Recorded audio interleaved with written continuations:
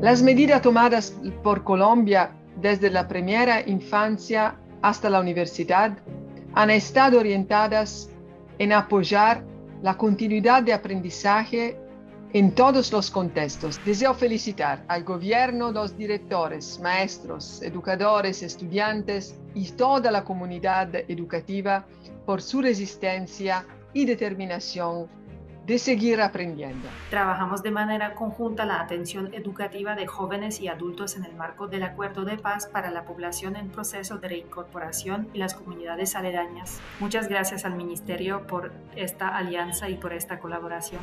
Ha sido una experiencia muy gratificante y potencializadora de nuestros programas en la Fundación Terfer. Quiero agradecer infinitamente al Ministerio de Educación por estos años donde hemos logrado construir y hacer vivo la premisa y el lema de la Fundación, donde educamos para transformar vidas.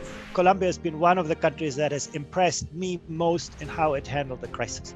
This was not just a matter of adding resources. This was also a priority. It was a matter of setting clear priorities and a lot of imagination. Agradecemos enormemente el trabajo conjunto que venimos haciendo. Estamos trabajando en el marco del clúster de educación en emergencia dentro del cual estamos respondiendo a las distintas crisis, la principal de ellas es la migración, pero también a las dinámicas de conflicto armado y desastres naturales. Recientemente hicimos un trabajo muy vistoso y muy bonito conjuntamente en las islas de San Andrés, Providencia y Santa Catalina con el paso del huracán Iota. Nos hemos puesto de acuerdo para aterrizar a todos nuestros amantes y aliados en favor de un retorno seguro a clases. Te agradecemos inmensamente que pudimos regresar a la presencialidad, con tener otra vez el contacto con nuestros estudiantes, docentes y padres de familia y tener un espacio digno para la educación de las islas. La gestión que bien tuvieron hacer para que Providencia las instituciones pudieran tener el mobiliario necesario y así darle inicio nuevamente a las clases presenciales.